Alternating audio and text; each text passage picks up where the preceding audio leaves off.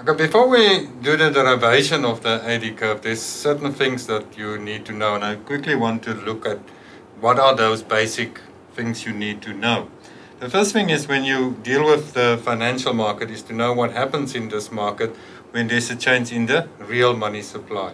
Now that this model is now sort of given in terms of the real money supply and the real demand for money. Then you're going to work with the goods market where you're going to look at what is the impact of a change in the interest rate on the goods market. And then lastly, you need to know what happens in your ISLM model when there's a change in the real money supply. Now let's start with the financial market. And what we know is that if there's an increase in the real money supply, then this curve shifts to the right and you end up with a lower interest rate. Now if you look at the concept of the real money supply, which is M over P, your real money supply can increase for two reasons. The one is there can be an increase in the nominal money supply given that the price level is the same. So what happens then if there's an increase in the nominal money supply, you eventually end up with a lower interest rate. There is your lower interest rate. The other reason why your real money supply can increase is if you have a decrease in the price level. Now you can think of it in this way.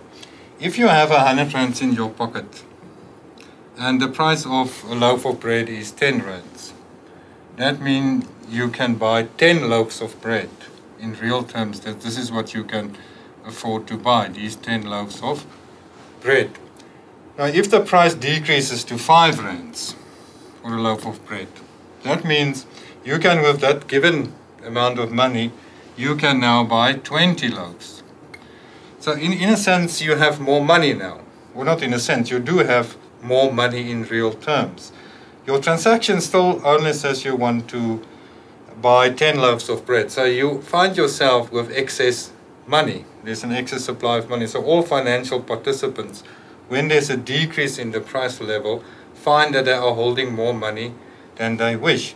And what they will then do is they will buy bonds, which increases the price of bonds and eventually you get this decrease in the interest rate. And this is then represented by your rightward shift of your real money supply curve. Now, as the interest rate drops, you then go into the goods market.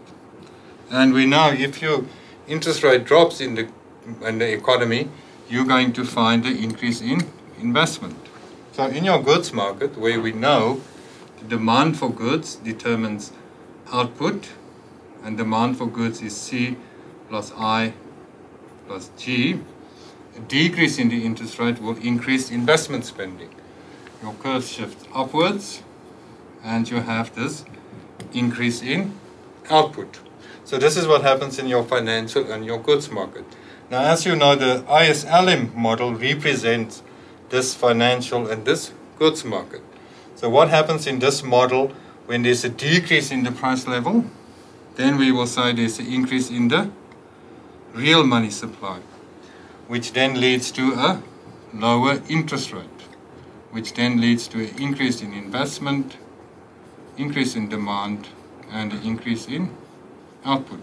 Now this is represented as a rightward shift of the LM curve. And as you can see, as the LM curve shifts to the right, you have a decrease in the interest rate. And as the interest rate decreases, you move along the IS curve until you reach this higher level of output.